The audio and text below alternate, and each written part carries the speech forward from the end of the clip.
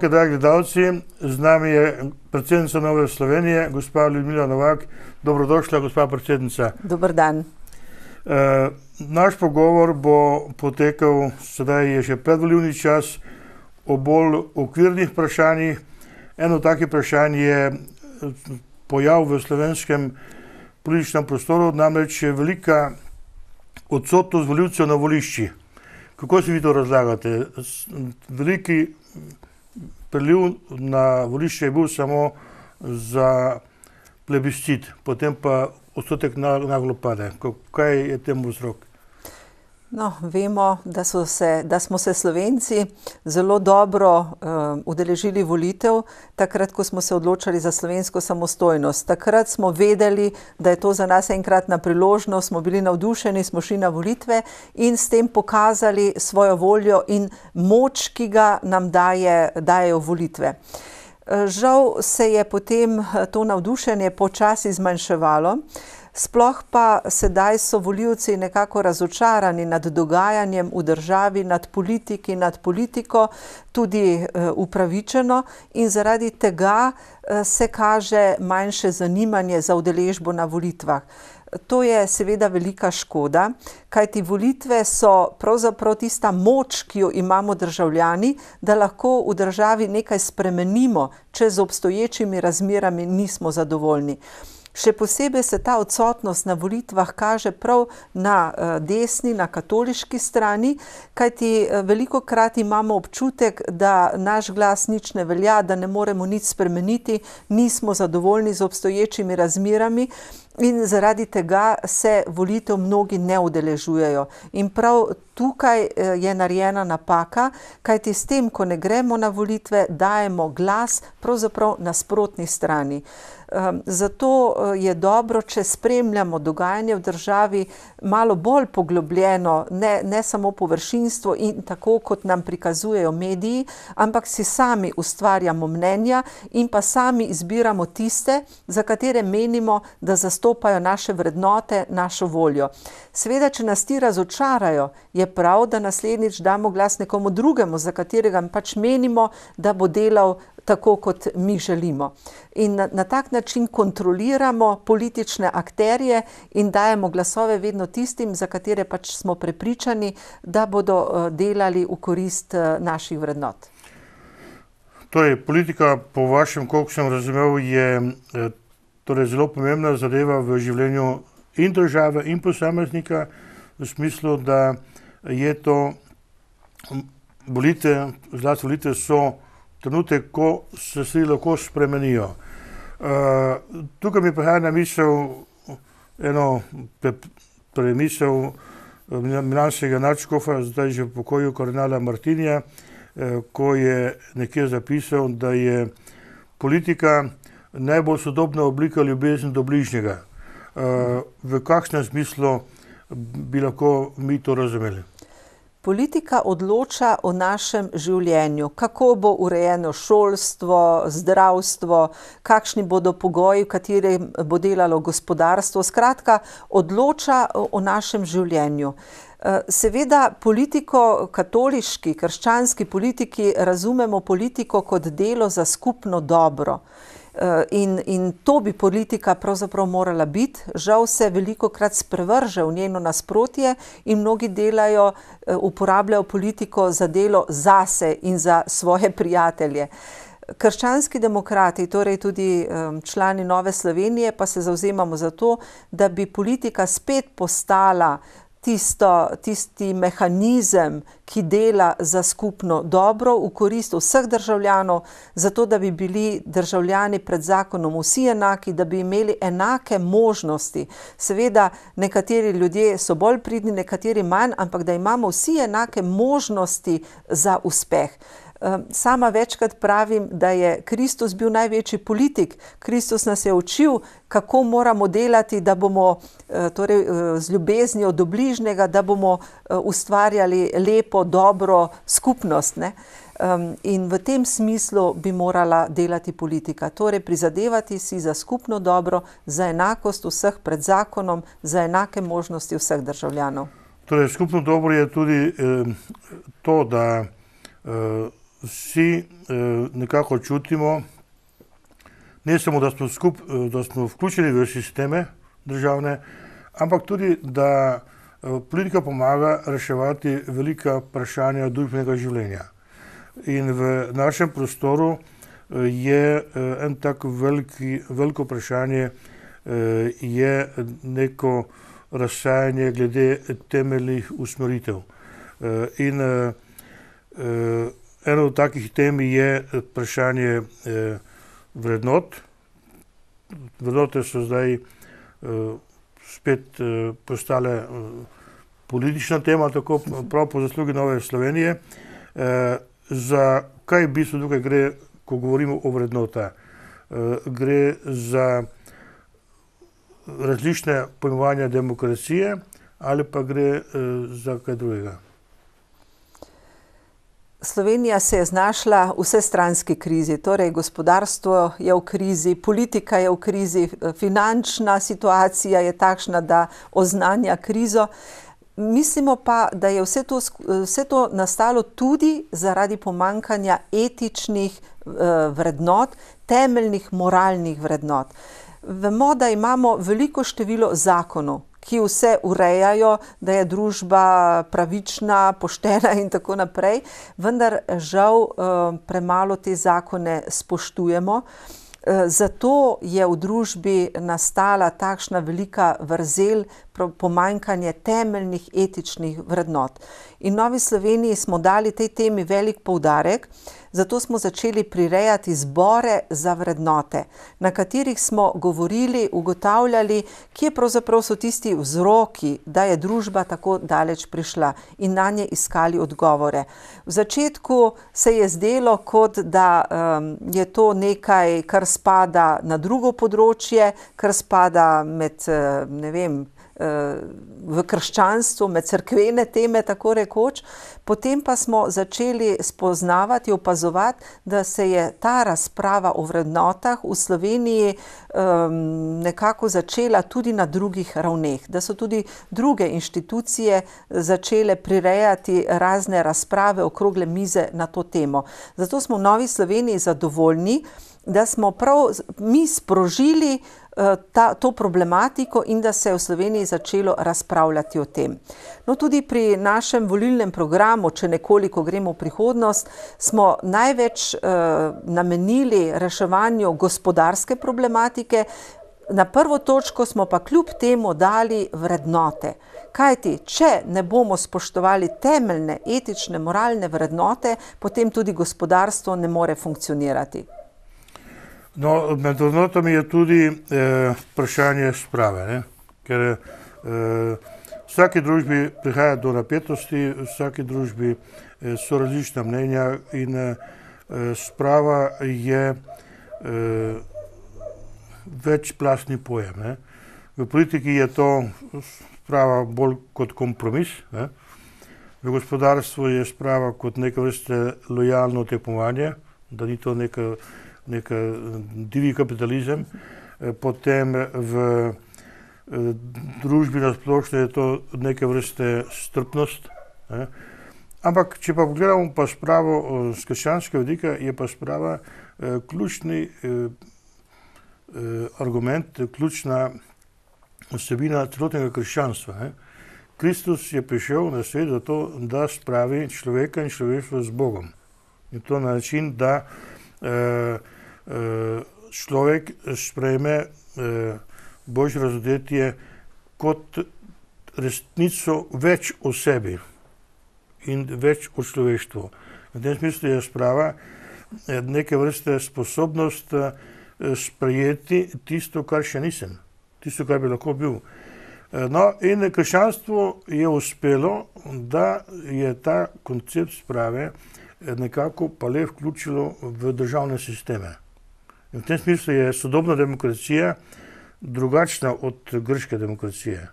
Tam je bilo pač svobodni ljudje v grških mestih so odločili, kaj bo, in tisti, tisti, ki so imeli večino, so pač zmagali, drugi so se morali temu podrediti in ni bilo več debate. V evropskih demokracijah, modernih, pa je ta koncept sprave prišel kot neke vrste blagohodno sprejemanje skupnih odločitev.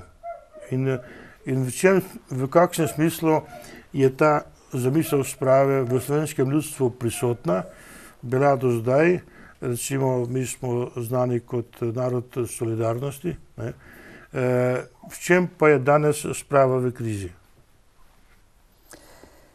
No, v Sloveniji se vprašanje sprave zelo povezuje z medvojnim in povojnim revolucionarnim komunističnim dogajanjem.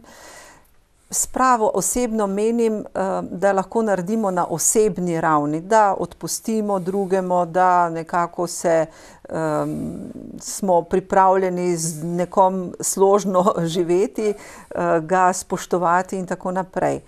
No, kaj se pa, kaj se pa zgodilo v Sloveniji, vemo, torej ta revolucija, ki je bila povezana, ali pa v času narodnoosvobodilnega boja, poboji, medvojni, povojni poboji, ki so se dogajali na Slovenskem, in vsega tega nismo uspeli v Sloveniji razčistiti oziroma reči: "To je bilo prav, to je bilo narobe." Vsi, ki so bili pobiti, oziroma ti, ki so bili pobiti, so žrtve, nekdo je za to kriv, kdo je za to kriv. Skratka, te, to nismo uspeli postaviti v neke, na, na neke resnične temelje, da bi zgodovinarji opravili svoje delo, in da bi se potem to, kar zgodovinarji ugotovijo, tudi zapisalo, o tem poučevalo v šolah. Tako pa še vedno prevladujejo težnje, da se te, ti zgodovinski dogodki prikazujejo na eni strani olepšano, na drugi strani pa se pripisuje krivda. In zaradi tega je nemogoče potem doseči neko narodno spravo, ker pač ta, ta, to poročanje ali pa zapisi in poučevanje, javno mnenje ne temelji na neki zgodovinsko dokazani resnici. In dokler tega ne bomo postavili na svoje mesto, potem tako dolgo ne moremo govoriti o spravi v narodu. No, vi ste bili kot evropska poslanka v parlamentu v Evropi, ko se je prav o tem debatiralo, ne. Ali naj Evropski parlament zavzame stališče do totalitarnih režimov prejšnjega stoletja? To je bilo prvo vprašanje. Drugo pa je bilo potem, kakšno stališče zavzeti, in ste zavzeli stališče, da totalitarni način vodenja države in pa sploh političnega obnašanja ni prihodnost Evrope. Kako je ta debata potekala? Že prej je Svet Evrope, torej ne Evropska unija, ampak Svet Evrope, ki vključuje vse države Evrope, sprejel dve resoluciji, v katerih je obsodil totalitarne režime, med njimi tudi komunizem. V Sloveniji o tem pravzaprav nismo veliko vedeli, ker smo se izogibali ali pa se je uradna politika tej temi izogibala, prikrivala. Tudi te resolucije je bilo pred časom zelo težko najti na internetu. Jaz sem našla šele s pomočjo enega časopisa, ki jo je objavil in je bil objavljen na internetu. Skratka, zelo težko je bilo priti do teh dokumentov. No, in v Evropskem parlamentu se je prav tako sprožila diskusija o tej tematiki in na podlagi tega je nastala resolucija o obsodbi vseh totalitarnih režimov. Torej poleg nacizma, fašizma tudi komunizma. S tem se je priznalo, da je komunizem bil tudi veliko zlo, da je naredil veliko hudega v Evropi oziroma v tistih državah, kjer je pač bil toliko let na oblasti. No, in ta resolucija tudi predvideva evropski dan spomina na žrtve vseh totalitarnih režimov, to je, to je triindvajseti avgust. in takrat naj bi se spominjali vsega, kar se je hudega zgodilo, tudi v Sloveniji. no, žal vemo, da ta resolucija v slovenskem parlamentu ni bila, tako sprejeta kot evropskem, ampak so se samo poslanci z njo seznanili in sedaj državne inštitucije ta Evropski dan spomina tudi ne obeležujejo. Obeležujejo, obeležuje ga študijski center za narodno spravo, medtem ko eh, na državnem nivoju temu dnevu ne posvečajo velike pozornosti. No in o čem govori ta resolucija Evropskega parlamenta? Torej, da je komunizem bil totalitarni režim, da je povzročil veliko hudega, da je naloga zgodovine, da to razišče, da se to zapiše, da se o tem poučijo mlade generacije, vse z namenom, da se te stvari ne bi ponovile. In da tudi se žrtvam izreče vso dolžno spoštovanje in tudi eh, moralno zadoščenje in po možnosti tudi materialno. Vemo, da v Sloveniji smo še daleč od tega. Istočasno, ko je o tem razpravljal Evropski parlament, eh, aprila leta 2009, ko smo sprejeli to resolucijo, imela sem pač priložnost, da sem v tem času bila tudi evropska eh, poslanka in sem z veseljem za njo glasovala. Za njo eh, je glasovalo vseh sedem takratnih slovenskih evropskih poslancev iz vseh političnih strank, ki smo bile takrat prisotne v Evropskem parlamentu. In mi je zelo žal, da v Sloveniji uh, istočasno, kot smo tam sprejeli to resolucijo, istočasno je potekala razprava o poimenovanju um, ene ulice v Ljubljani uh, v Titovo ulico. Tako da tukaj se je pokazalo, da Slovenija še ni zrela, da bi pogledala resnici v oči in na tem področju uh, sprejela evropske norme. Uh. Kako so to v Evropi razumeli? Ker je, da parlament se samo seznani z nekim de, parlamentarnim dejanjem Evropskega parlamenta, je to zaušnic za Evropskem parlamentu? No, ne samo Evropskemu parlamentu, to je zaušnica demokraciji. Če v času demokratične države um, imenujemo ulice po nekom, ki je bil uh, jasno simbol uh, komunističnega režima, komunistične uh, države in uh, za katero vemo, da je pač bila nedemokratična, da je povzročala veliko zla med državljani, da je zaradi tega uh, umrlo veliko ljudi, veliko žrtev je pustil ta režim za seboj. Skratka, to je zaušnica demokraciji.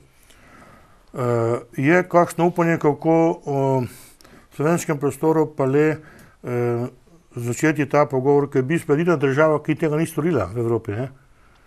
Nemčija je zdaj tudi takoj po vojni, Francija, uh, sem govoril z enim izuitom, uh, ko je bilo vprašanje sprave, uh, je rekel tole, ne, da je general de Gaulle takrat podpisal smrtno usodo generalu Petenu, Eh, kljub temu, da je Peten bil botr njegovemu sinu. Eh, in ko se ga vprašal, zakaj je to storil, eh, je rekel zato, da jasno se opredelimo za to, da je Francija demokratična država, da ne bo imela več izkušnjav z kakšnimi totalitarnimi oblikami vladavine in da to sporočilo je tako potem jasno podano v, v francoski politični prostor. E, kako to, da slovenska politika tega ne zmore? No, nek napredek je vendarle e, viden. E, vsaj ustavno sodišče je pred kratkim odločilo, da poimenovanje ulice po, simbo, po, torej po diktatorju, po Titu, ni primerno za demokratične čase. Zato smo v Novi Sloveniji zadovoljni, eh, da se je to zgodilo, zaradi, predvsem zaradi žrtev, ki so trpele zaradi tega uh, sistema. Tako da nek napredek vendarle je, ker pa vemo, da so do sedaj bili na oblasti tisti, ki so ideološki nasledniki tega režima, seveda je pričakovano, da um, ne morejo sprejeti te resnice oziroma um, ne morejo priznati uh, resnice oziroma to, kar vsa Evropa priznava, kar zgodovinari že zdavnaj oznanjajo. Uh, žal še pač pri nas ni prišlo do tega, da bi na tak način um, razčistili z našo preteklostjo. Uh, to pomeni potem, da ta totalitarna preteklost je v diametralnem nasprotju z, z najbolj rahlo obliko demokracije. ja, no, sama se spomnim, da ko so v Evropskem parlamentu slišali, kaj se v Sloveniji dogaja z novim poimenovanjem, so me prav debelo gledali. In so rekli, ali je to mogoče, ali se to sedaj dogaja, ali je to bilo pred 20 leti. In ko so izvedeli, da se to sedaj dogaja, so bili po eni strani zelo razočarani in niso mogli verjeti, da se to dogaja v državi, ki je članica Evropske unije. No, na začetku ste, ste rekli eno misel, da je država v službi vse, da skrbi za skupno dobro. Kako to, da je pa pri nas ta miselnost, da je država instrument vladanja, pa, pa najboljša oblika, eh, kako priješ do imetja ne, eh, in pa kako eh, druge izigraš, da je to vse možno preko zakonov. V čem je tukaj slovenska zakonodaja nekako zašla na stran pota in zdaj tudi očitno v krizo? Predvsem so na stran pota zašli politiki in z njimi povezani določeni lobiji, določene navezave na politiko. Zakonodajo imamo solidno, žal jo ne spoštujemo. Eh, pred kratkim smo slišali poročila, koliko sej državnega zbora je bilo, ne vem, preko 400 rednih sej, preko 300 izrednih sej, eh, toliko sej vlade, sprejeli smo nekaj sto eh, zakonov. Žal jih premalo spoštujemo. To pa se dogaja zato, ker nihče ali pa tisti, ki najbolj kršijo zakonodajo in so hkrati v političnih navezavah z vodilnimi funkcionarji, niso kaznovani. Vidimo, vemo, da je veliko menedžerjev, kjer je pač država solasnica v določenih podjetjih, da je naredilo tem podjetje veliko škode, da so najemali kredite za to, da bi sami postali lasniki, s tem slabili banke, da so denar, dobiček spravljali na račune tujih bank v tujini. Vendar nekaj aretacij je bilo kot neki šov, ampak na koncu ni prišlo do obsodbe, ni, ni bilo razčiščeno, ali dejansko obstaja krivda ali ne, še manj, da bi bilo to, to premoženje vrnjeno. Zaradi tega potem v javnosti nastaja vtis, um, sej politika tako, politiki delajo tako sami zase, um, sej se sploh ne splača iti na volitve, ne splača se sodelovati, ker nič ne moremo narediti. Torej, ti lobiji so si dejansko prisvojili državo zato, da so delali za lastne koristi. Predsednica, kako pa vi eh, kot eh, predsednica stranke, pa potem pa kot eh, javna oseba eh, in kako stranka dela, da bi se eh, vpliv takih lobijev zmanjšal po eni strani, eh, po drugi strani pa, kar je še bolj pomembno, da se spremeni eh, odnos do politike in pa da ljudje eh, ponovno začnejo verjeti, da je možno uh, dober sistem uh, dejansko ponovno vpeljati v, naš, v, v našo državo. Moramo se zavedati, da tako kot v življenju vsi ljudje nismo enaki ali pa isti, tudi v politiki nismo vsi enaki, kajti nimamo vsi enakih ali pa istih vrednot. Vrednote krščanske demokracije, torej Nova Slovenija kot krščansko-ljudska stranka, um, temelji na vrednotah krščanske demokracije, zagotovo za, za, zagotavljajo ali pa želijo uh, delovati, torej Nova Slovenija kot uh, krščanska ljudska stranka želi spoštovati tiste vrednote krščanske demokracije, ki so tudi temeljne etične in moralne vrednote. Eh, zato mi razumemo politiko kot delo za skupno dobro. In, uh, torej, krščanska demokracija je v slovenski zgodovini imela zelo pomembno vlogo. Spomnimo se, prvo vlado je prav vodil Lojze Petrle, takratni SKD, torej slovenski krščanski demokrat. Eh, ko je Slovenija naredila najodločilnejše korake na poti osamosvajanja in tudi pri oblikovanju nove države. Torej, prav zaradi tega, ker so krščanski politiki razumeli, da morajo delati za državo, za skupno dobro, za blagostanje vseh. Potem leta 2000, v času Bajukove vlade, ki je trajala samo pol leta, ampak takrat je tudi uh, imela krščanska demokracija tako pomembno vlogo, da smo izpolnili kot država potrebne pogoje za približevanje Evropski uniji. In prav v pol leta so se zgodili odločilni premiki za to, da smo potem lahko nadaljevali našo pot približevanja. Leta, tudi leta 2004 do 2008, ko je bila vlada, v kateri je uh, sodelovala Nova Slovenija, smo prav tako, naš minister Andrej Bajuk je sprejel odločilne ukrepe, da je Slovenija lahko sprejela evro. Torej, v vseh pomembnih trenutkih je imela krščanska demokracija pomembno vlogo. Zato menimo, da je tudi za prihodnost Slovenije zelo pomembno prav prisotnost krščanske demokracije v slovenskem parlamentu oziroma tudi v slovenski vladi. Sedaj so za Slovenijo spet prelomni časi, krizni časi, hudi časi.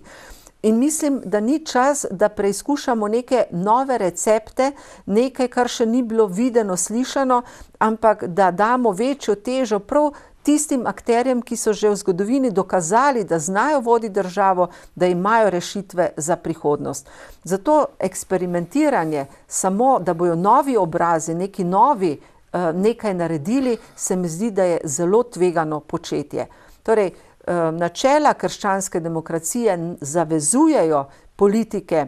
Um, Nove Slovenije, da delamo v duhu skupnega dobrega za vse državljane.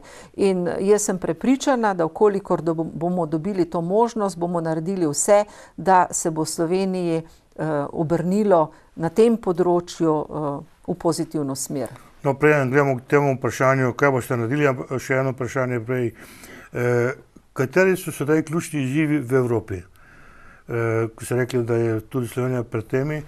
A je to o, politična vizija Evrope ali je to o, večja pravičnost med o, vsemi državami, v, ne samo evroobmočja, ampak celotne Evrope, e, ali pa je to sploh o, en nov poseg v o, globalne procese. Ja, največji izziv za Evropo je gotovo, kako rešiti to finančno krizo, s katero je seveda povezana tudi gospodarska eh, kriza. Vemo, da je Evropa zelo, zelo zadolžena, ne samo Grčija, ki je pred, tako rekoč pred bankrotom in cela Evropa eh, jo rešuje, ampak tudi celotna Evropska unija eh, zelo zadolžena in zato tudi se naše gospodarstvo veliko počasneje razvija, kot pa recimo Eh, na vzhodu, Kitajska, vemo, da je zelo močan investitor tako v Evropi, v Afriki, eh, v Ameriki. Skratka, nevarnost je, da postajamo vedno bolj odvisni od teh globalnih akterjev, med katere zagotovo uh, sodi tudi Kitajska. Seveda tudi surovin Evropa nima veliko na zalogi, tudi tukaj bomo morali drago plačevati.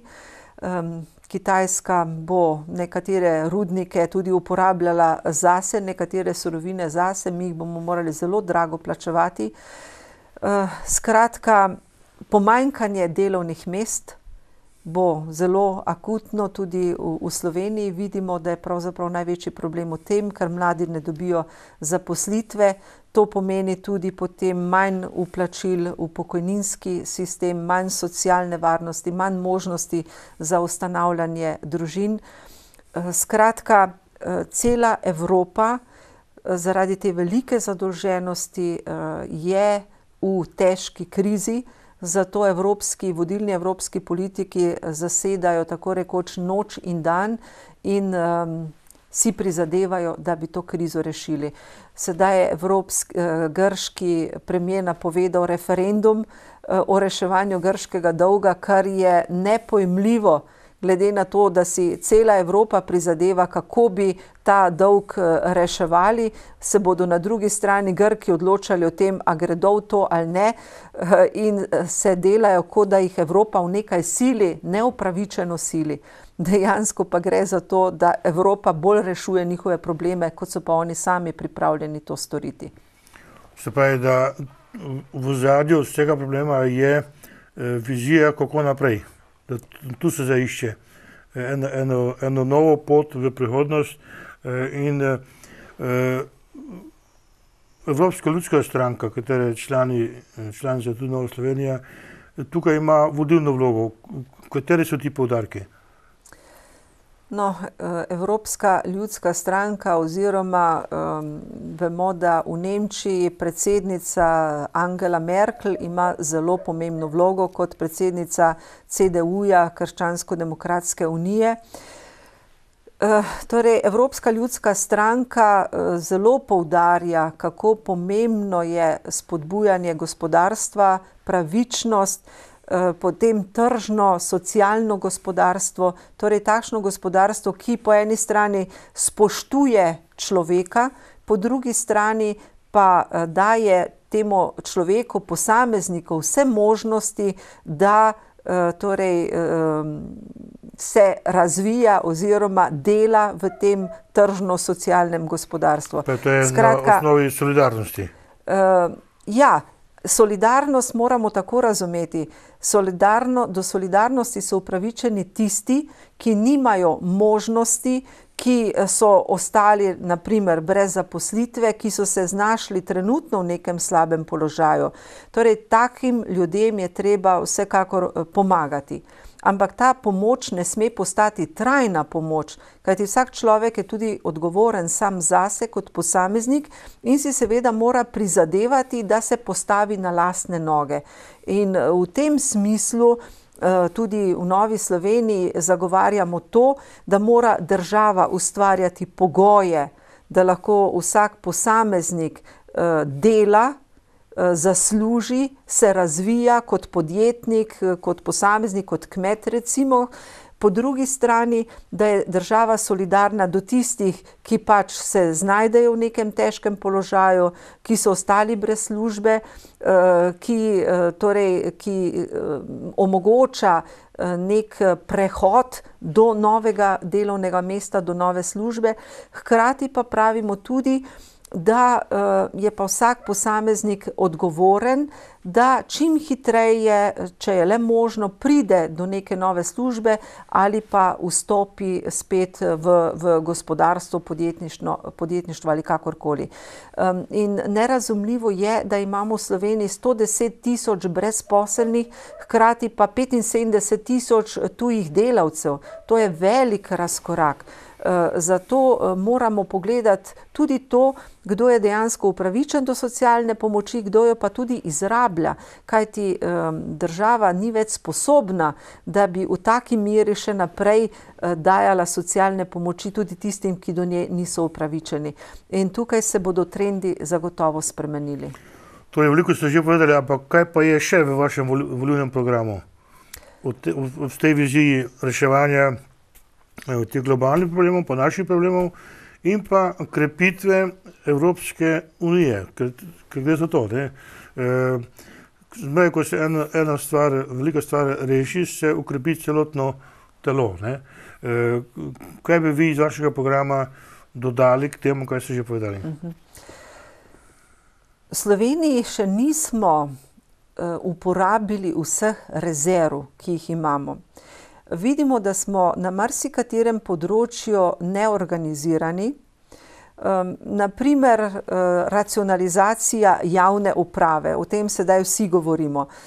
V Novi Sloveniji ne govorimo kar počez, odpustili bomo eno tretjino delavcev in tako naprej.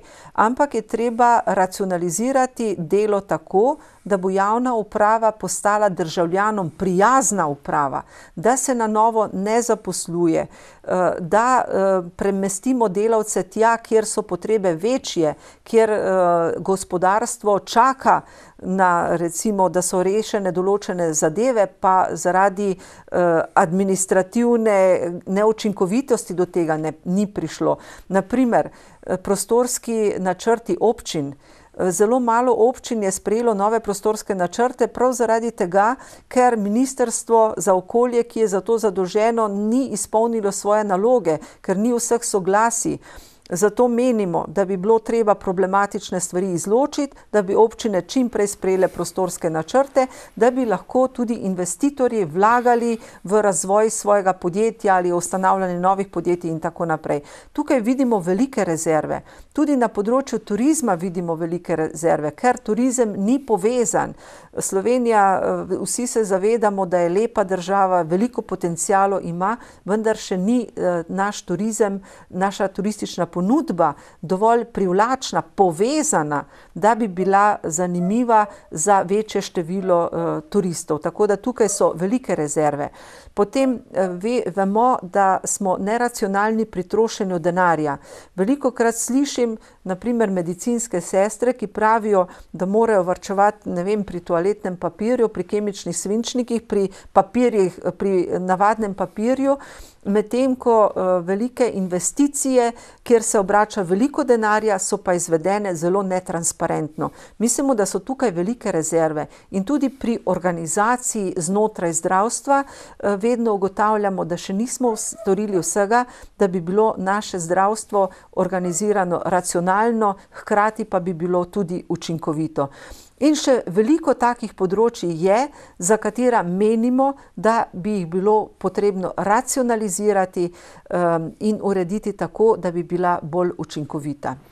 V, obstaja kakšna študija, v kakšnem razmerju je učinkovita administracija, pa je javna uprava, um, ekonomski dejavnik, ki prenaša novo vrednost.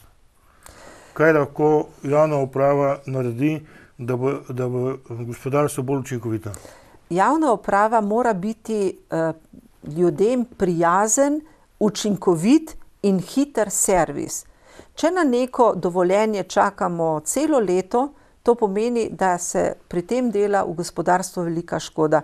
Pred kratkim sem se po, pogovarjala z enim podjetnikom, ki ima vse pripravljeno, da bi zaposlil šest ljudi, ampak ker čaka na en papir že eno leto, pravzaprav njegova investicija stoji.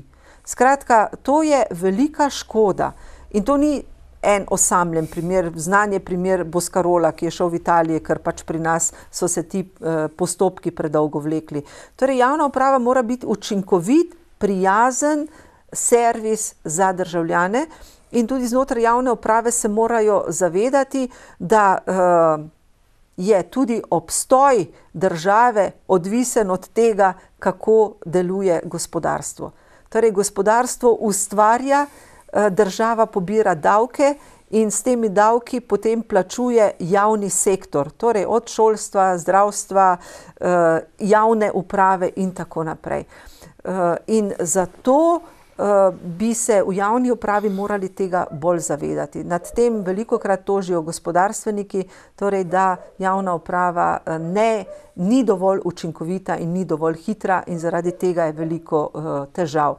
Imamo tudi preveč birokracije, torej preveč administrativnih ovir, tako pri ustanavljanju podjetij, Eh, pri, pri, kot sem rekla, gradbenih dovoljenjih, pri teh prostorskih načrtih in tako naprej. Skratka, preveč administrativnih ovir, da bi bili kot država dovolj učinkoviti. Torej, ni problem samo v pomanjkanju denarja, da imamo premalo investitorjev, po, po, problem je tudi v naši organiziranosti.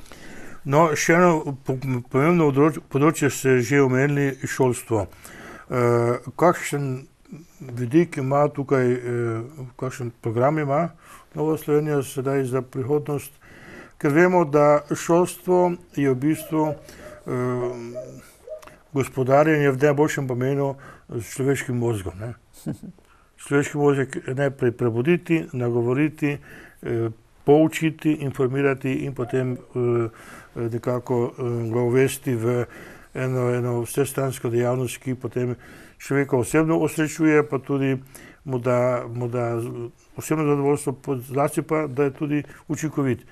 Kako tukaj Nova Slovenija razmišlja, kako ta potencial, za katerega ekonomisti pravijo, da je vreden 45% celotnega gospodarstva, je možek, ne? Spravi inovacije in vse to. E, kaj ima tukaj prenašate novega? Zagotovo poudarjamo to, da ima šola poleg izobraževalne funkcije tudi vzgojno funkcijo, ki se nam zdi zelo pomembna in zelo potrebna. Novi Sloveniji želimo, da bi šola izobraževala in vzgajala tudi za tiste poklice, ki jih potrebujemo kot država na vseh nivojih izobraževanja. In da se šolski sistemi prenovijo tako, da bomo izobraževali za današnje potrebe, ne za čase, ki so nekoč bili. Vemo, da danes potrebujemo vedno nova znanja, stvari se hitro spreminjajo, zato morajo biti izobraževalni sistemi prilagojeni sodobnemu času. v Sloveniji imamo tudi to težavo, da izobražujemo za poklice, ki jih, ki so nezaposljivi, po drugi strani pa imamo potrebe po nekaterih poklicih, za katere pa ne izobražujemo. Torej, več naporov vložiti tudi v usmerjanje, v, v to, da mladi ljudje spoznavajo, kje so potrebe, kje so možnosti, in pa tudi mlade spodbujati k večji podjetnosti. Na tem področju imamo Slovenci še vedno veliko težav, ker podjetništva ne razumemo kot priložnosti, kot nekaj pozitivnega, kot možnost za to, da sebi zagotovimo delovno mesto in mogoče še za nekaj drugih ljudi. Pravijo, da je izobraževanje takrat dobro, ko se mladi ljudje tako dobijo takšna znanja, da lahko v prihodnosti poskrbijo za svoje delovno mesto in po možnosti tudi za nova delovna mesta. Torej spodbujati mlade k temu, da bodo bolj podjetni, da bodo videli v tem možnosti in priložnosti. Seveda država pa mora zagotavljati pogoje, da bo potem to tudi uresničljivo na čim bolj enostaven način. Kakšen pa je vaš odnos do privatnega šolstva? Vemo, da v zahodni Evropi je privatno šolstvo zelo razvito, da je to tudi protiutež državnemu šolstvu, da zaradi tega je tudi državno šolstvo lahko bolj kvalitetno. zato je, podpiram, v Novi Sloveniji podpiramo razvoj zasebnega šolstva. Zakaj ne bi imeli državljani možnosti izbire? In na ta način bi do določene mere lahko razbremenili tudi državo, ki bi pravzaprav manj sredstev potrebovala za šolstvo. Ampak tukaj govorim o tem, da mnoge zasebne izobraževalne ustanove same skrbijo, ne vem, za, za samo šolo, za določene materialne pogoje, vendar državljani... Tako, državljani pa so upravičeni do, do, ne glede, a gre v državno šolo ali gre v privatno šolo, da je pač za njih ta šolnina plačana oziroma da imajo možnost se brezplačno izobraževati tudi v zasebnih izobraževalnih ustanovah. No, kako vidite torej v Sloveniji, kakšen sistem bi, oziroma kdo vse bi naj bdel nad tem, da se možganski potencial najbolj sprosti pa razvije? Je to šolstvo, ministrstvo sigurno, Slovenska akademija znanosti prav gotovo, univerze prav gotovo, stranka, kako je to v stranki urejeno? No, stranke imamo zagotovo različne poglede na izobraževanje. Medtem ko se je v preteklosti zelo poudarjala izobrazba potem, da se šola čim manj utika v vzgojo, da je šola zelo liberalna. Se v Novi Sloveniji zauzemamo za to, da ima šola poleg izobraževalne funkcije pomembno vzgojno funkcijo in da tudi v šoli ni dovoljeno vse in ni vse dobro. Eh, torej, da so tudi strožja pravila, da imajo učenci, poleg tega, da imajo določene pravile, eh, pravice, da imajo tudi obveznosti. Na to morda kdaj pozabljamo. Eh, in da so potrebni tudi določeni ukrepi za večji red eh, in pa disciplino, ker sedaj so učitelji veliko krat nemočni. Po eni strani smo vzeli učiteljem določeno avtoriteto, določeno moč, hkrati pa potrebujemo varnostnike v šola. Torej, eh, v tem, s tem je potem nekaj narobe. Učitelj mora imeti možnost, mora imeti sredstva, da lahko vzpostavi eh, v razredu tudi red in disciplino. Ne mislim palice. Sama sem bila več kot 20 let uh, v šoli, niti enkrat mi ni bilo potrebno in nisem želela, da bi ko, koga fizično morala disciplinirati, pa vendarle so potrebni določeni mehanizmi, da lahko učitelj zagotavlja, vzpostavlja v razredu red in s tem tudi možnost, da se učenci več naučijo. Kaj pa eh, sedanje eh, stanje, ko imajo dijaki že v osnovni šoli dostop do interneta in vidijo pravzaprav vse, kaj se dogaja? kako tukaj naučiti mlade brati eh, to kompleksno stanje v svetu preko interneta.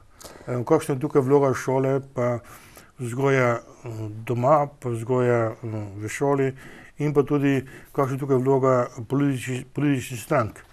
No, internet je zagotovo nujno potreben v današnjem času in je prav, da se učenci že od najmanjše stopnje naprej uh, spoznavajo internet. Seveda je pa pri tem uh, dobro ali pa nujno, da so tako uh, poučeni o tem, kakšne nevarnosti predstavlja internet, in da so o tem poučeni tudi starši. Sedaj je veliko krat problem prav v tem, ker otroci vedo več o internetu, o možnosti, kot pa mnogi starši. Seveda počasi se to spreminja, kajti eh, skoraj da ni več poklica, v katerem ne bi bil računalnik ali pa znanje računalnika tudi potrebno ali pa celo obvezno. Uh, skratka, uh, da, da se uh, učenci zavedajo, oziroma da so poučeni o nevarnostih in seveda prednostih interneta, in pa tudi vsi, ki z njimi delajo, da, da uh, še posebej starši, da so o tem poučeni. No, če še ostanemo pri, pri mladih, kako to, da je v Sloveniji tako visok odstotek eh, zasvojenosti z mamili, alkoholom, sedaj že z internetom, uh, kdo je tukaj?